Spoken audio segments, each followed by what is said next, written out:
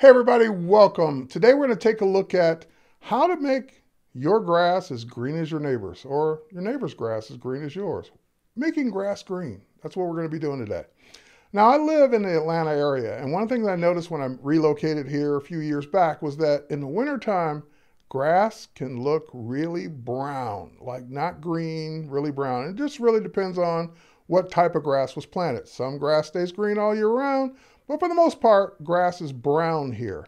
And I noticed someone posted an image on social media and they got like they had more attention on the grass than they got on the subject, which wasn't the grass. And they kind of tried to explain, hey, this is, this is a Georgia thing. Grass is brown down here. And um, anyway, I'm going to show you how to fix it, especially if you're in the real estate, posting pictures of homes in the wintertime. You want that grass to just look good. Posting pictures of your own home. You want the grass and landscape to look good. So for example, let me show you what we got. So this is uh, these were all taken in the fall winter time. So this is actually near the lake of, near my house. And you can see on the left-hand side, the grass is very brown, typical color for this time of year. And around this time of year, going forward, that grass will turn green, just like it does on the right-hand side of this image. Now, if I uh, go to the next one, this is actually at the lake, brown all the way around, just brown grass. And if we go here, this is actually a situation where they do have green grass on the left-hand side and on the right-hand side, but it looks like they're laying down some new sod. And of course, it's taken on that, that winter brown property. So this is the Savannah College of Art and Design. And this is their Atlanta campus downtown. I went and grabbed some shots for them. And uh, you'll, you'll, uh, they probably want that grass to look good. So let's go ahead and fix it. There's also a couple other things we we can go ahead and take care of in this image as well. Let's start with some of the things that are bothering me besides the green grass. The building itself looks like it's leaning in. And this can often be affected by a couple of things. Number one, uh, enabling the lens profile correction for the camera this was shot with. That will kind of fix any bowing and curvature from the lens itself. Now I shot this with my iPhone 12 Pro Max. So I shot this as a as an Apple RAW, RAW file, um, Pro RAW file and I brought it into Lightroom. All right, so we got that done. Now let's go into the geometry, which is gonna help us take care of the building itself. And I have upright. I'm just gonna go ahead and, and pop this into uh, auto upright. Now I'm doing this on my iPad Pro. And um, I, I could just as easily do this on my iPhone, the same phone that I shot it on, but it's just easier to see it on a bigger screen. Plus I have the Apple Pencil for pressure sensitivity. All right, now that we got that, next thing we're gonna do is, remember I said I shot this with um, uh, Apple's Pro RAW on the iPhone 12 Pro Max. And if I go here in the profiles, we now include, and we will select it going forward automatically, an Apple Pro RAW profile to kind of make the colors look the way they looked on the back of the camera. So that looks more like what I was seeing on this dreary, rainy day in downtown Atlanta.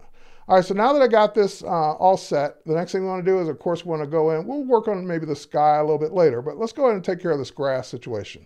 So I'm going to go ahead and go to my selective adjustments. Let's get out of profiles.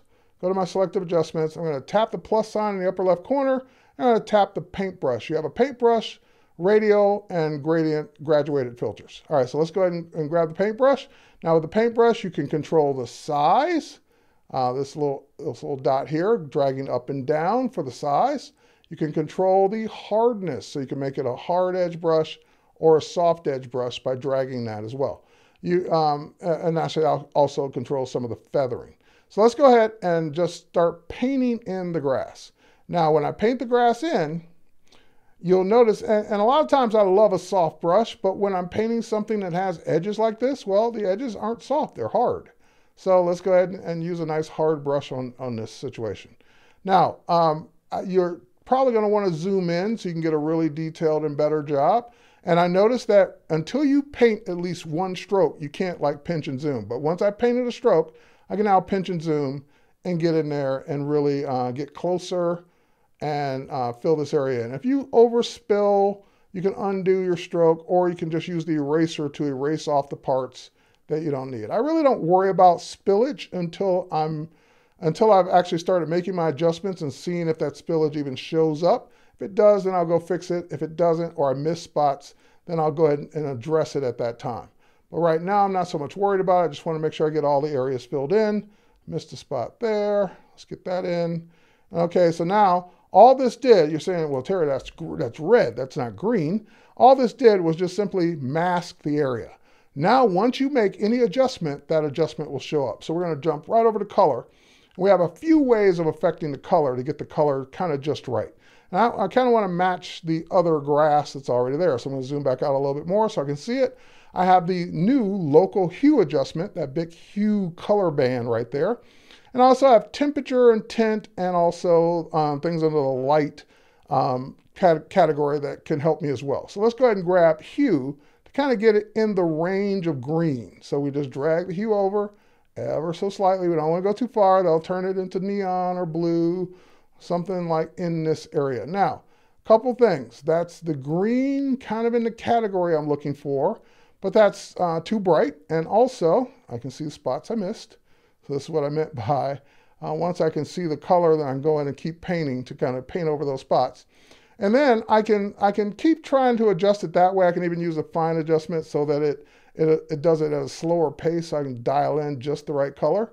But what I'm probably going to end up doing is saying that that's about the range I want. Then I'm going to maybe add a little green tint to it as well. That might be overdoing it just a much, but just a little bit. Let's do a little bit more. That's too much right about there. And then the problem is that it's also very bright. You remember that patch of brown was very bright compared to the green on the left and right hand side. So let's bring down the exposure a bit. There we go. Now that's starting to dial it in and get it the color we want. It also shows us more spots we missed, or I missed. So I just go ahead and paint those in.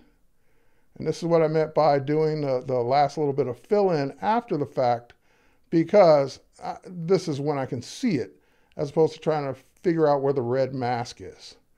All right, so now that I've done that, and that's why I say I wasn't too much worried about the spillage, because I don't see it now. You can zoom in, you can be very nitpicky about it and get it just right.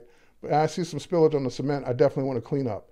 But you get the idea that that's going to now start to give me the green that I want. So now I, I brought the exposure down just a bit.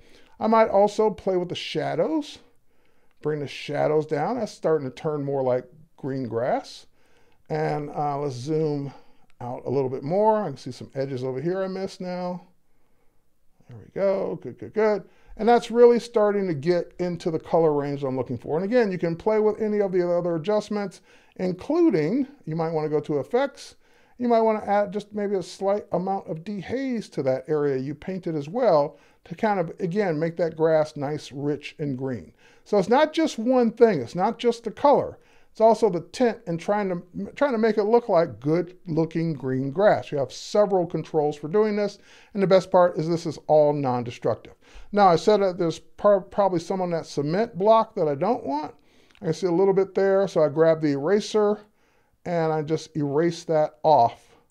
Yeah, it was a lot of it. I can erase that off, that little pedestal there that should not be green and take care of that. And again, if you, uh, if you do too much, you can undo. You can always come back with a brush while you've got this adjustment selected and continue to brush in. And even if you deselect this adjustment, you can always come back in, grab the point where you started painting uh, to select it so that you can continue brushing. All right, let's get all that done. Good, good, good. And now we can zoom out and now we can take a look at the sky. Now, again, that is what the sky looked like because it was a rainy day. But we don't have to make it, we don't have to keep it like that, do we? No, we don't. Let's go ahead and go to, back to our selective adjustments and let's add one more. So we're going to add in this time a linear or uh, linear gradient, linear, or linear, yeah, linear gradient. All right, so let's grab that one and I can even pull it in at an angle. So pull it in at a nice angle, pull it down, and get that. And now what we do with that is up to us. So for example, we might want to just simply lower the exposure in that area. We might want to go back to color and add in some blue to kind of just make that sky, that part of the sky a little bluer, maybe the temperature, just a little bluer in that area. I don't mind a temperature adjustment for the sky anytime.